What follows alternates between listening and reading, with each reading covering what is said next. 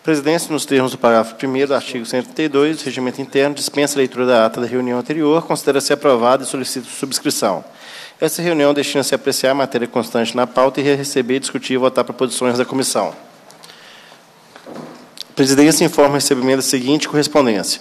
Ofício do senhor Marcelo Rodrigo Barbosa, gerente-geral da Espaço Cidadania, publicado no Diário Legislativo de 11 de 7 de 2019, em resposta ao RQN 11.127 de 2018, em que informa que o projeto de lei federal número 7.419 de 2006, que trata da Lei Geral de Planos de Saúde, encontra-se pronta para a ordem do dia no plenário da Câmara dos Deputados.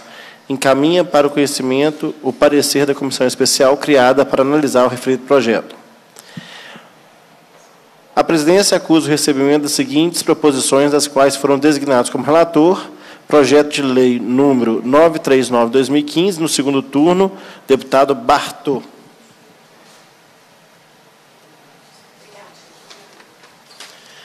Passa a segunda fase da ordem do dia, que compreende a discussão e a votação de proposições que dispensam a apreciação do plenário requerimento número 2306 de 2019, em turno único, de autoria da Comissão do Trabalho, que requer que seja encaminhado ao governador de Estado pedido de providências para o encaminhamento a esta casa de projetos de lei de revisão tarifa de energia elétrica para os clientes residenciais a partir da diminuição do percentual do ICMS.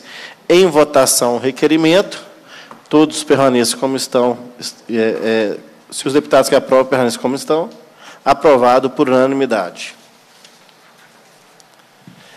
Passa a terceira fase da ordem do dia, que compreende o recebimento, discussão de votação por posições da comissão. Indago aos deputados se há alguma matéria a ser apresentada nessa fase.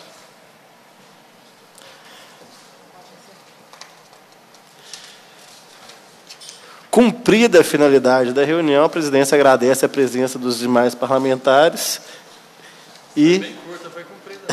e, e, convoca os membros para a próxima reunião ordinária e determina a lavratura da ata e encerra os trabalhos. Muito obrigado a todos. Correr aqui que eu estou com pressa.